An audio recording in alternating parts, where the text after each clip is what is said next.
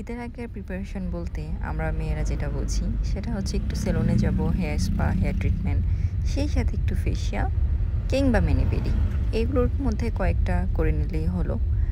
তো বরাবরের মতো আমিও চলে এলাম এত কাজের ব্যস্ততার মধ্যেও একটু নিজের কেয়ার করতে। তো যেহেতু চুলটার উপরে একটু সবসময় বেশি এফোর্ট দেওয়া হয় এই জন্য চুলের কাজ করতেই সবার আগে এলাম। আজকে চুলটাকে হাইলাইট করব। অনেক দিন ধরে করা হয় না। সেই বাংলাদেশে যাওয়ার আগে করেছিলাম। আর এখন হচ্ছে ভাবলাম যে ঠিক আছে, চুলটা এবার আর রিবনিং না করি জাস্ট হাইলাইট করি। কালার করার চেয়ে আমার কাছে হাইলাইটটাই বেশি পছন্দ, তো এই জন্য এবার হাইলাইট করাবো। আর এটা তোমার সবচেয়ে পছন্দের একটা হেয়ার সেলুন সবসময় আমি এটাতেই আসি ডেরিক্যান টিম খুব ভালো সার্ভিস তাদের। তো যাই হোক, তারপরে রীতিমতো প্রায় ঘণ্টা কয়েকক্ষণ আমাকে এখানে থাকতে হবে। এই জন্য একটু পরপর মোবাইলটা বের করে ভিডিও করছিলাম, সময় কাটাচ্ছিলাম, আপনাদের জন্য ফুটেজ নিচ্ছিলাম। তো হ্যাঁ হাইলাইট করার জন্য অলরেডি দুজন চুলের পিছনে লেগে গেছে। আর যেহেতু ঈদের একটা মৌসুম, খুব ফাস্ট তারা করছে।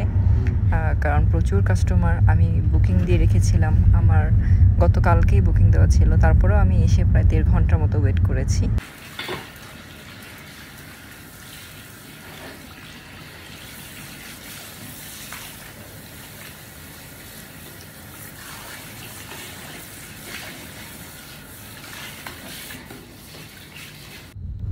ঈদের আগের এই সময়টাই আমার সবচেয়ে বেশি পছন্দের, কারণ মনে হয় একদম নিজের পার্সোনাল একান্ত একটা সময় কাটাচ্ছি।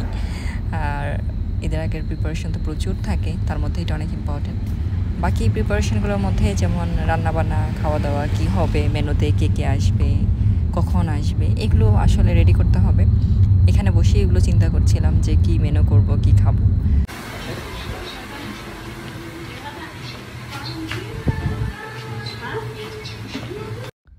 অনেকটা সময় লাগছে বাট আজকে কোনো টেনশন নেই, কারণ আজকে ইফতারি কোনো প্যারা নেই। আজকে ইফতারি ফাতে আপু বাসার থেকে পাঠাচ্ছি। আপু আগেই বলে দিয়েছিল। যেহেতু আমরা একটু ব্যস্ত, তো আপুর বাসায় গিয়ে ইফতারি করার মতো সময় হয়নি। তো এই জন্য হচ্ছে আপু, তারপরে এরা কিছুদিন আগে রাশেদ আপু ইফতার পাঠিয়ে দিয়েছিল। তো ওই ইফতারেই একটা মানে একটা বড় টেনশন আর কি আমি ফ্রি আজকে। দোকানে গিয়ে রেস্টুরেন্টে গিয়ে জাস্ট আপুর খাবারগুলো খাব। ইরফান যতটুকু বলল যে অলরেডি চলে আসছে ইফতার।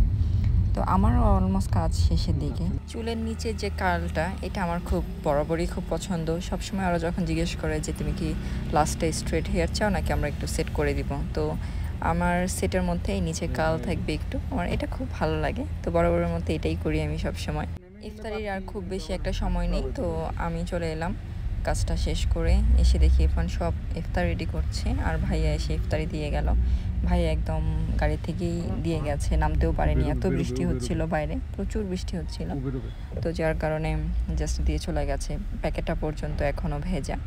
এখানে এই বক্সটাতে আপু পাঠিয়েছে হচ্ছে সব আমাদের ট্রেডিশনাল যে খাবার দাবার বেগুনের চপ আলুর চপ দেন আপু সিঙ্গারাও করেছিল। না সিঙ্গারা না সরি সামোচা করেছিল। দেন তার সাথে ছিল হচ্ছে অনেক মজার ইয়াম ইয়ামি বিরিয়ানি, তারপরে হচ্ছে ডেজার্টে ছিল হচ্ছে সাগু আর বিভিন্ন ফ্রুটসের একটা ডেজার্ট সব কিছু মিলিয়ে মানে অসম্ভব রকমের মজার খাবার ছিল। অনেক এনজয় করেছি। এরকম সারাদিন রোজা রেখে তারপরে বাইরের কাজগুলো শেষ করে এসে এরকম রেডিমেড ইফতার পেলে খান্না ভালো লাগে। তারপরেই তো ইফতারিতে খাবার নিয়ে নিয়েছি। আলহামদুলিল্লাহ থ্যাংক ইউ সো মাচ আপুকে। এত মজার মজার ইফতার পাঠানোর জন্য। ইনশাল্লাহ আপনাদের সাথে দেখা হবে আমার ঈদের সবগুলো ব্লগে আর আজকে থেকে আমি ব্লগিং আবার স্টার্ট করছি। ইনশাল্লাহ আমি আপনাদের জন্য নতুন নতুন রেগুলার ব্লগ নিয়ে আসব। আমাদের জন্য অনেক দোয়া করবেন।